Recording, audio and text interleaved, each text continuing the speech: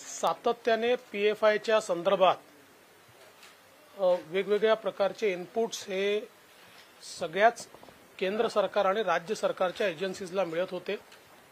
विशेषतः आपल्याला माहिती आहे की जसं दहशतवादी कृत्य करून आपल्या देशाला खिळखिळ करण्याचा प्रयत्न काही लोक करतात तसंच सायलेंटली वेगवेगळ्या मार्गातनं समाजामध्ये तेढ निर्माण करून आपल्या देशाचं सोशल फॅब्रिक हे त्या ठिकाणी डिस्ट्रॉय करून आणि वेगवेगळ्या समाजामध्ये तेढ निर्माण करण्याचं काम काही लोक करत होते. आणि पी एफ आय त्याच्यामध्ये फार पुढे होतं. व्हायलन्स कसा होईल याकरता बीजारोपण करायचं. त्याकरता पैसा खर्च करायचा. त्याकरता वेगवेगळे नरेटिव्ह तयार करायचे. आणि त्याच्यानंतर व्हायलन्स घडवून आणायचा अशा अनेक घटना या पी एफ आयनी केल्याच्या लक्षात आल्या. विशेषतः सर्वात पहिल्यांदा केरळ सरकारने ही मागणी केली की पी एफ आयवर बंदी घातली पाहिजे. त्यानंतर वेगवेगळ्या सरकारनी या संदर्भात केंद्र सरकारशी पाठपुरावा केला. आणि इतक्या मोठ्या प्रमाणात हे सगळे पुरावे उपलब्ध आहेत. आपल्याला कल्पना आहे मागच्या काळामध्ये महाराष्ट्रामध्येही कुठेतरी नॉर्थ ईस्टला मशिदी तोडल्या असा खोटा प्रचार करून आपल्याकडे मोर्चे काढण्यात आले. आणि मोठ्या प्रमाणात अमरावती सारख्या शहरांमध्ये आपण बघितलं असेल तर तोडफोड करण्यात आली. ज्याचा कुठलाही संबंध अशा प्रकारे कुठे मशिदी तोडल्या गेल्या नव्हत्या. त्याचे जे क्रिएटिव्ह होते ते बांगलादेशमधले होते ते वेगवेगळ्या देशातले होते. आणि अशा प्रकारचं हे सातत्याने कृत्य हे पीएफआयच्या माध्यमातून चाललं होतं. आणि याकरता त्यांनी काही फायनान्सिंग मॉडेल्सही तयार केले होते. विशेषतः खूप मोठ्या प्रमाणात अकाउंट्स उघडायचे. आणि त्या अकाउंटमध्ये थोडा थोडा पैसा आणायचा जेणेकरून कोणाच्या लक्षात येणार नाही अशा अनेक बाबी त्यांनी केलेल्या आहेत. या सगळ्या गोष्टींचे पुरावे आता या ठिकाणी उपलब्ध आहेत. आता केंद्र सरकारने बंदी घातली आहे.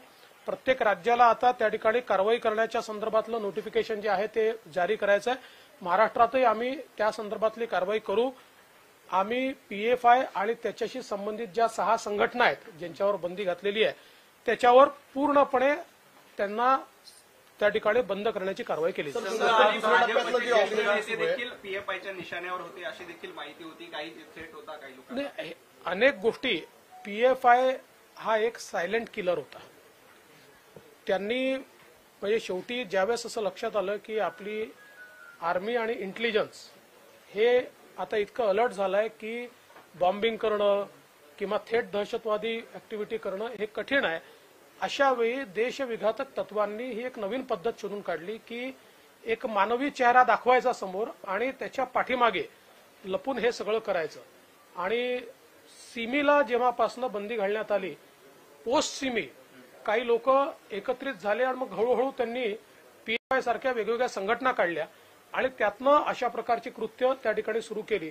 आणि त्याच्यामध्ये अनेक म्हणजे काही लोक त्यांच्या हिटलिस्टवर होते काही टार्गेटवर होते. काही लोकांवर हल्ले करण्याचं त्या ठिकाणी षडयंत्र देखील होतं. त्यामुळे अशा अनेक गोष्टी त्या ठिकाणी होत्या. मला असं वाटतं की आता या सगळ्या गोष्टी बाहेर येतील.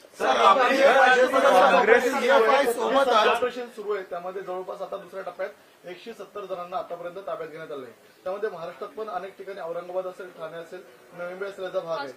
आता महाराष्ट्रामध्ये या पुढील काळामध्ये हे ऑपरेशन आणखी वाढवण्यात येणार आहे का? याच्यामध्ये वेगवेगळे जे काही केडरचे लोक आहेत त्यांच्या त्यांच्या सहभागाप्रमाणे या ठिकाणी कारवाई होते. काही लोकांवर केवळ वन फिफ्टी वन थ्रीची कारवाई झाली आहे.